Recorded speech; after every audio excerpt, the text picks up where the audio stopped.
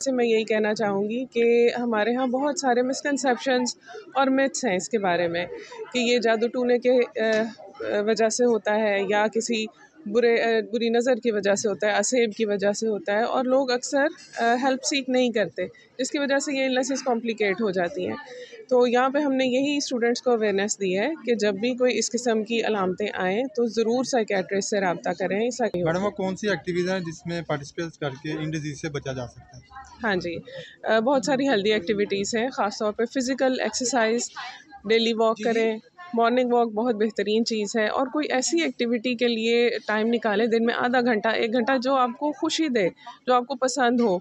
जैसे कि ज़रूरी नहीं कोई बहुत बड़ी एक्टिविटी हो, आप घर में कोई ऐसी चीज़ अरेंज कर सकते हैं। आर्ट्स एंड क्राफ्ट्स हैं पेंटिंग है, कोई अच्छा म्यूज़िक है फैमिली के साथ टाइम स्पेंड करें और मुसलमान माशरा है तो हम इस्लाम की बीस में यही बहुत बड़ी कंट्रीब्यूशन है। नमाज़ रोज़ा इस्लाम से जो कुर्बत सिर्फ़ बच्चे जो हैं वो इस दौड़ में लगे हुए हैं कि हमने मार्क्स ज़्यादा लेने हैं। और बच्चे इसी दौड़ के अंदर स्ट्रेस का शिकार हो रहे हैं और एक दूसरे के से कंपटीशन करते हैं। कंपटीशन होना चाहिए, लेकिन एक हेल्थी कंपटीशन होना चाहिए। ना कि ये होना चाहिए कि अगर एक बच्चे के मार्क्स ज़्यादा हैं तो दूसरा बच्चा डिप्रेस हो जाए।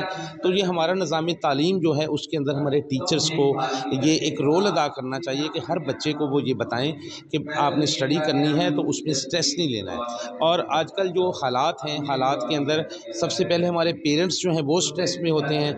जब हमारा घर का माहौल स्ट्रेस होगा तो बच्चा अपनी कारकर्दगी जो है, वो स्कूल के अंदर या कॉलेज के अंदर या यूनिवर्सिटी के अंदर सही तरीके से उसको पेश नहीं कर सकेगा।